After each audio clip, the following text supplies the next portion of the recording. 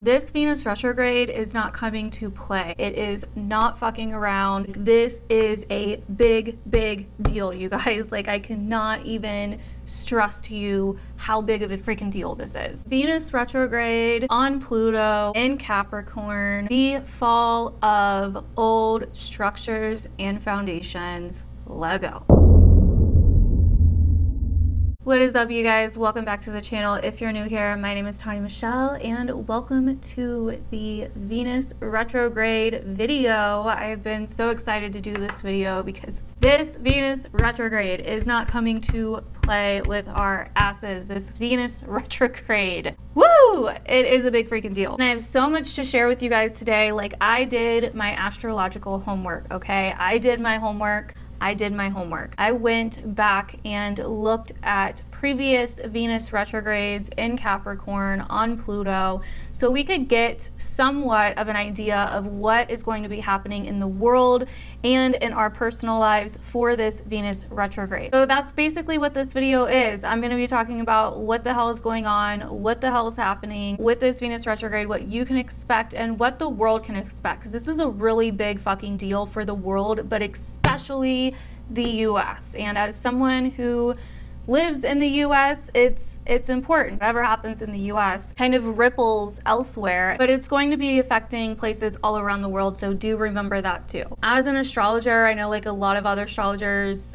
can agree, like we've all been kind of like anticipating this Venus retrograde at the end of this year. Like, what is it going to be? What's going to happen? The biggest thing is some kind of financial crisis, some kind of economic crash which we will go into. But there's a lot of other things that we can see with this Venus retrograde that I'm going to talk about in this video. So get comfy, grab a snack or whatever the hell. Join me while we do a deep dive into what this Venus retrograde could be bringing in the world and in your personal life. Before we jump into it, like this video and comment down below. Make sure to share this video. It will help my little small channel over here out a ton. I would really, really appreciate it. Anyways, let's go ahead and get into it.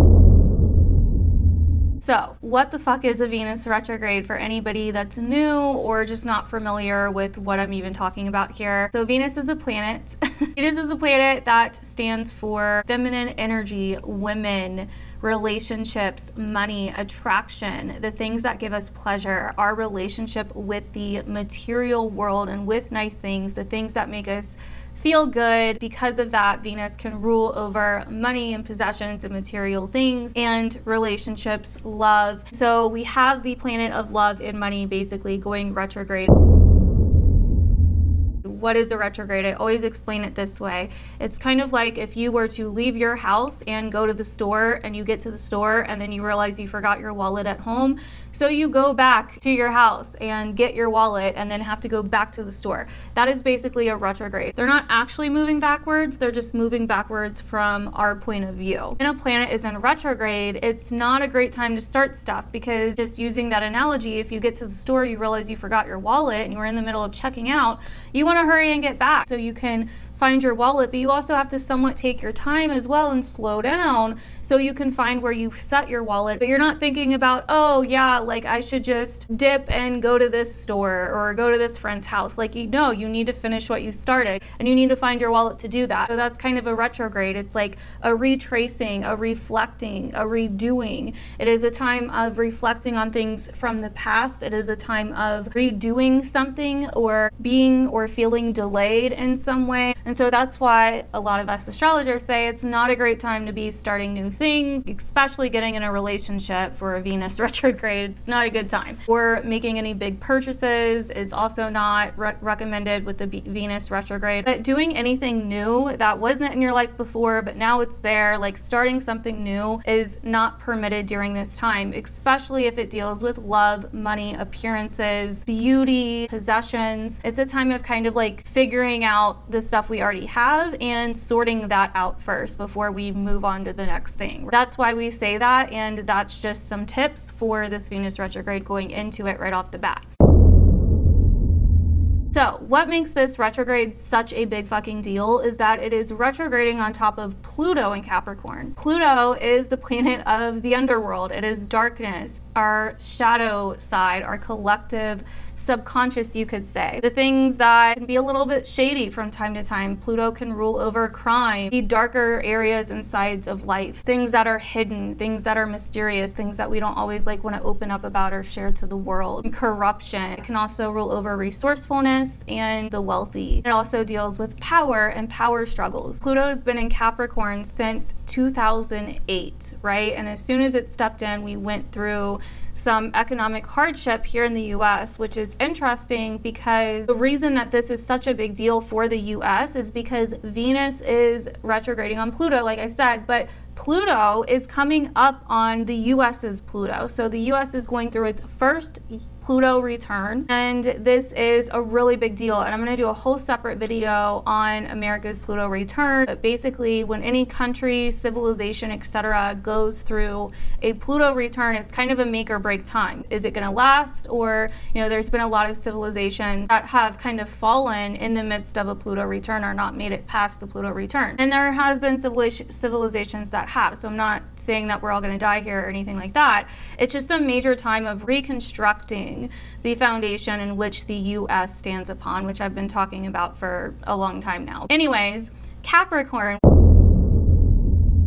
What is Capricorn? Capricorn is the backbone and it literally rules the spine and the bones and the body. It is the structure in which holds something together. It is the foundation of something as well. What is the earth sign that starts us in winter. Capricorn is very earthly, very grounded, only worried about what is necessary. What do we need that's necessary?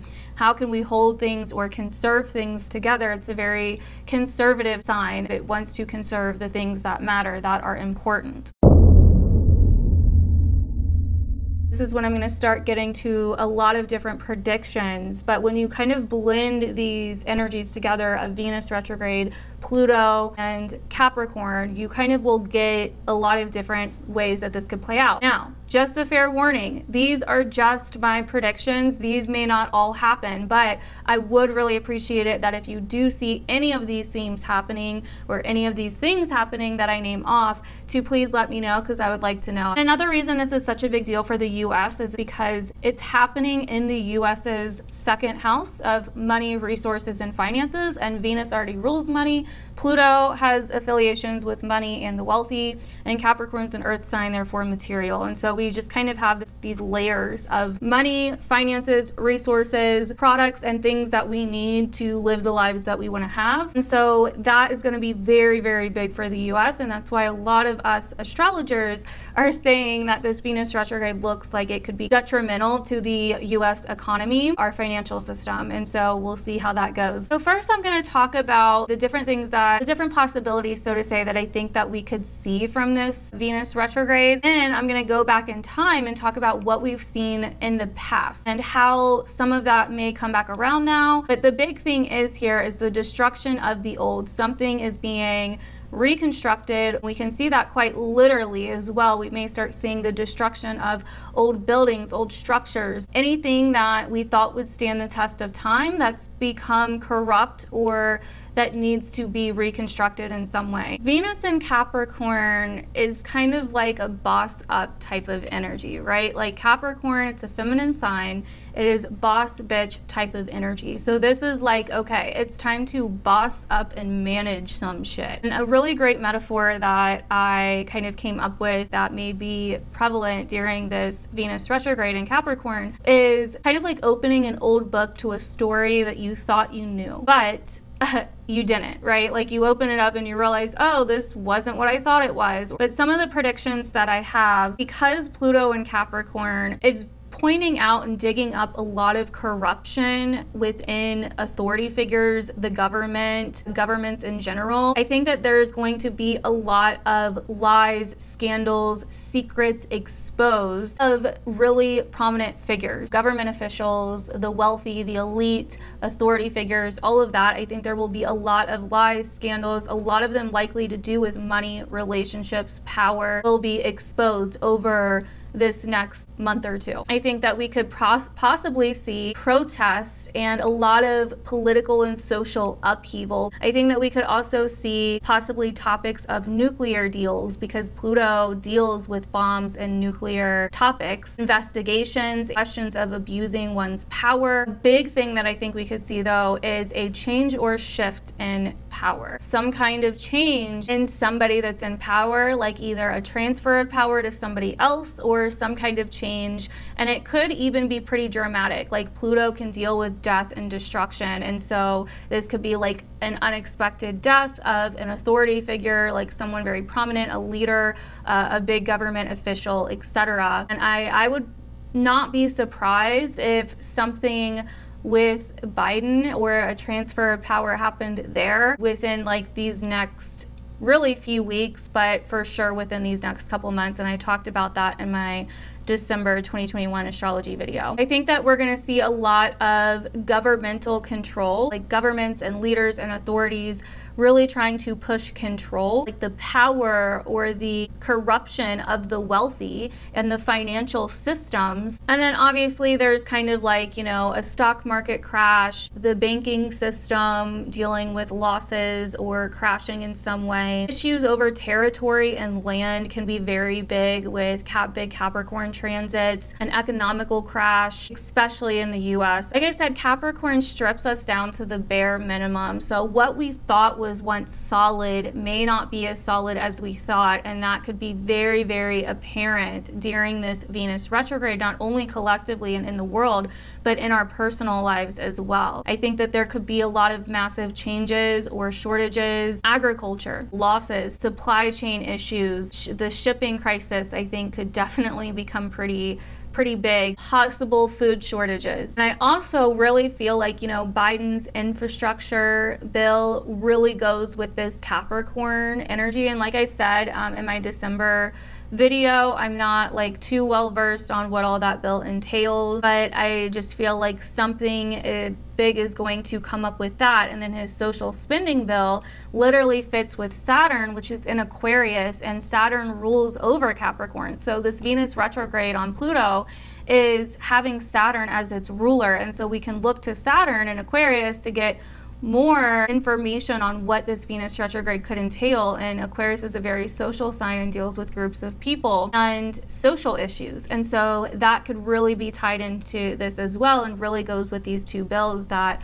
we see coming up here. But I could see something going pretty wrong with these bills. I also think it's going to be a time collectively where we're getting real with ourselves. Like it's like a major reality check of like what's really important, what holds value. It's going to be a time of reflecting on what needs to be conserved. This could be a time where we are upgrading social systems and structures. I think this is also really signifying with Saturn and Aquarius like what old structures or systems are we going to progress with and what are we going to tear down? And I will get to more of that in a minute. But I do feel like there will be this push to move into a more digital or technological world, which I don't I don't know how great that's going to go with the North Node moving into Taurus, but we'll see. I could also see the government or authority figures trying to get involved in cryptocurrency. It's kind of a time of feeling of really seeing like how far do we want to progress? You know, Capricorn really brings up a lot of historic themes like our history and things like that. It does have certain ties to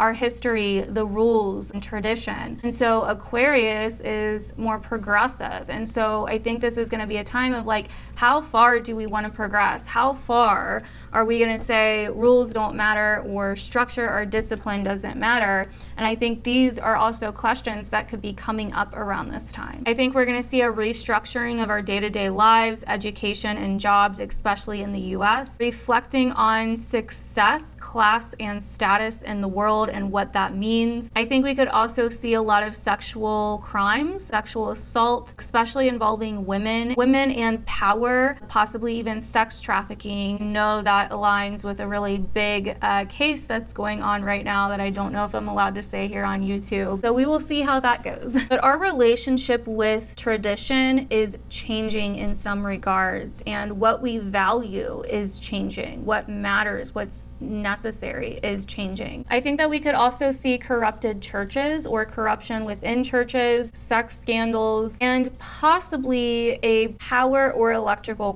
crisis. I could see something happening there. So now we are going to go back in time to Venus retrograde in 2013.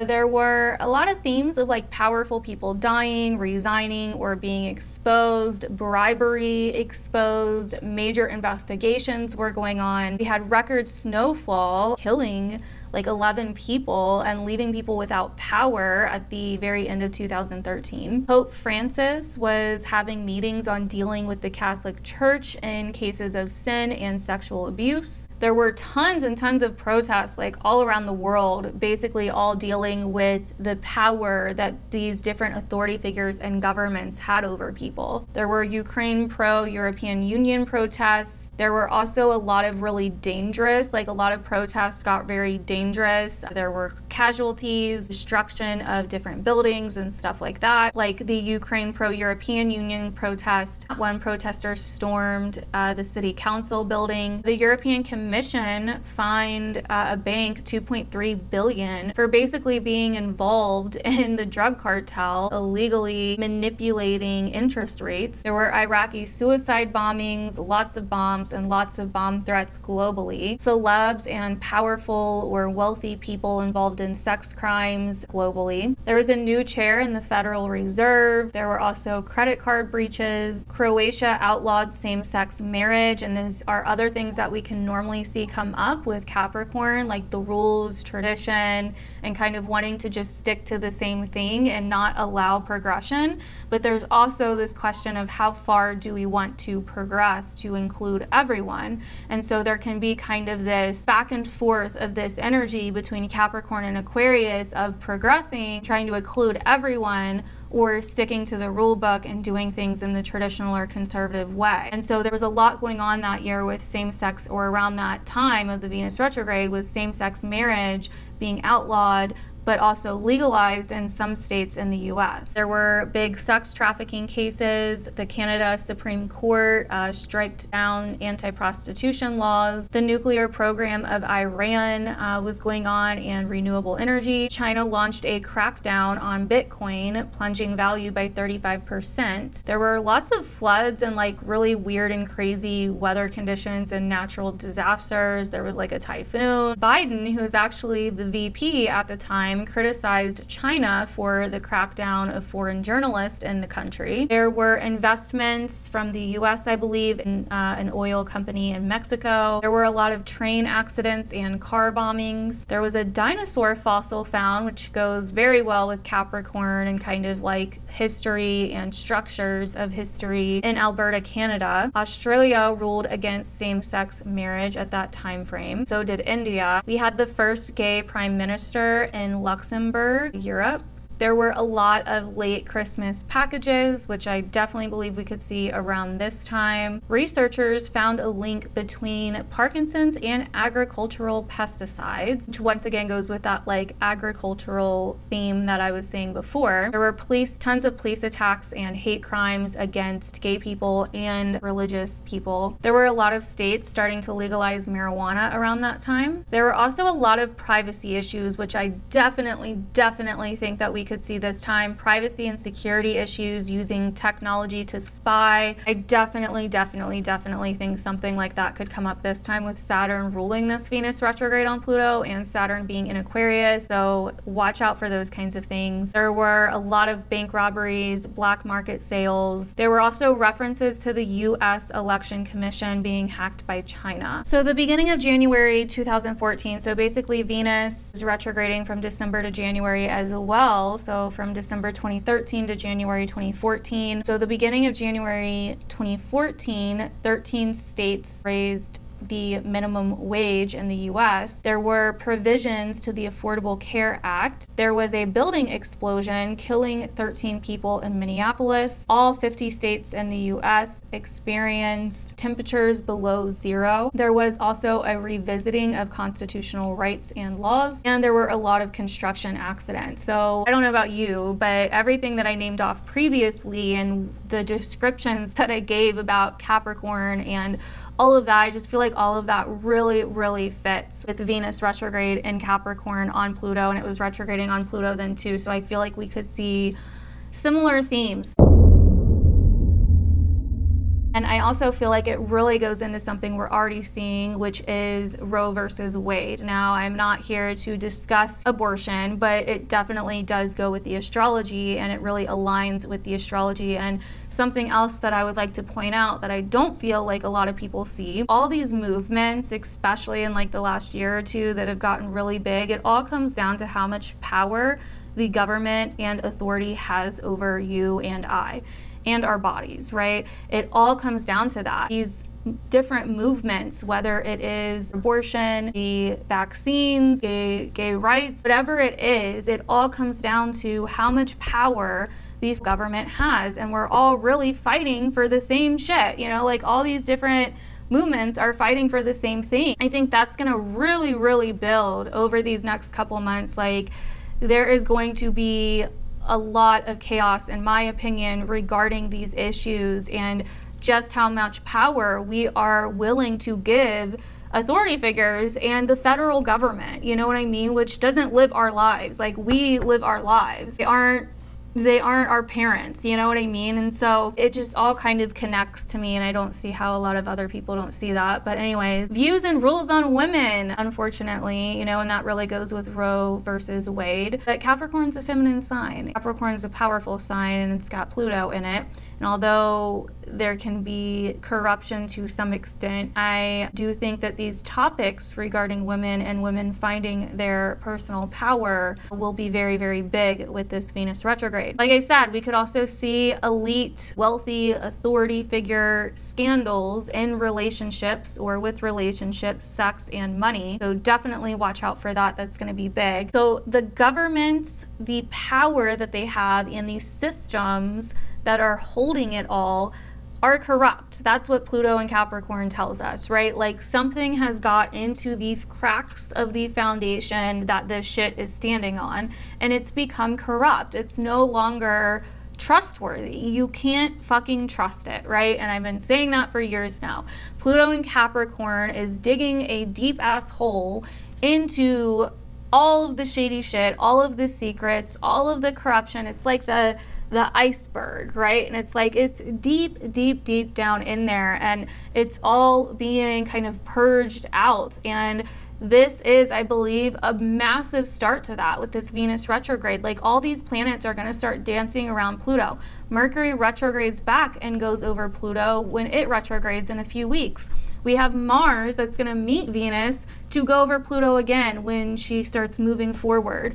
And so all of this is really dancing around Pluto and it's all happening like right at the, in the same few month period as the exact hit to the US's Pluto for the US's Pluto return. So I think that we need to stop accepting, or at least we will likely stop accepting these superficial fixes to issues, deep rooted issues and problems, that is no longer working. It's like the foundation that it's all built upon is the problem. That is what Pluto and Capricorn tells us. The backbone, the structure that's holding it all together is no longer strong. It is no longer reliable, and that is going to be massively exposed with this Venus retrograde. But we keep trying to, it's like, it's like there's freaking termites in your the wood the structure holding up your house you're trying to like buy new shutters and shit and it's like ha, like that's not going to fix your problem or there's like mold that's like deeply embedded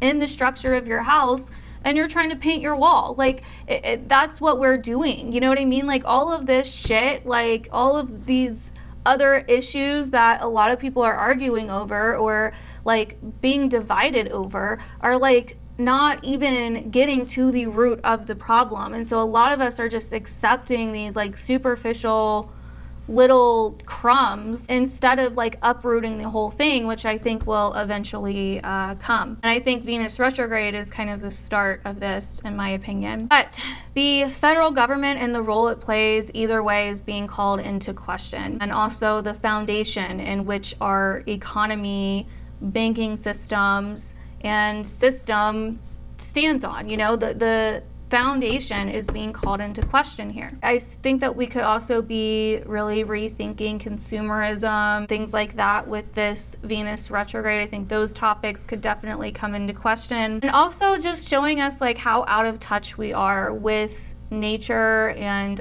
the earth and feminine energy. Like it's just it's fucking insane. So if you were those in power and you wanted to make massive changes that basically favor you and nobody else, right? Because that's normally what happens, and that's what Pluto and Capricorn is showing us. Then you're going to have to rip up and restructure the foundation, which is Capricorn, right?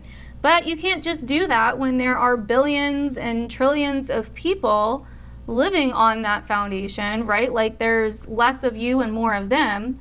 So you have to somehow convince the people to agree with you, which is Aquarius. Saturn rules Capricorn those in power, right? The elite, the government, whatever. But it's in Aquarius, the sign of the people, right? And so restrictions and restricting the people is part of the Pluto and Capricorn hidden whatever, you know what I mean? And like, yeah, I know I may sound a little like woohoo out there conspiracy theorist, but like on like they're related. I'm sorry. Like that's how astrology works. Like Pluto is expressing through Capricorn, which is expressing through its host, which is Saturn in Aquarius. Okay, so Saturn's fucking corrupt too. Okay, so like you can't, if Pluto wasn't in Capricorn, I'd say, okay, okay, like whatever. But Pluto's in fucking Capricorn. The foundation, the system, the structure is corrupt, right? This is not just like you know, oh, you know, a few people in power are like, you know, ruining it for everybody. Like, no, it's so much fucking deeper. It is, Pluto is deep. Could stay hidden for long periods of time for a reason, right? We allow all of these rules and restrictions and like being told what to do by people and governments and leaders and whatnot that are not even living our lives for us, right? And so I think that is all coming into question. And not all of that is necessarily my opinion. Like astrologically, that's what I see. Some of it is my opinion though, but you know. So let's get to the last part of this video where we talk about what you could see in your life personally, what we may notice more in our life personally. This is not a great time to do anything that you can't undo with your appearance, with relationships. I mean, this could be somewhat like an ending or a major change in relationships and friendships for a lot of people or with money, but it could come kind of naturally, like not like something that's more out of your control, rather in your control. And this is kind of like a time of like you know, really reflecting on if you, how you want to deal with that or how you want to react to that.